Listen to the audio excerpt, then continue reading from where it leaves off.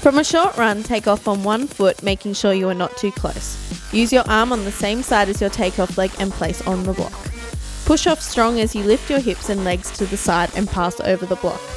Landing on one foot will allow you to maintain your momentum.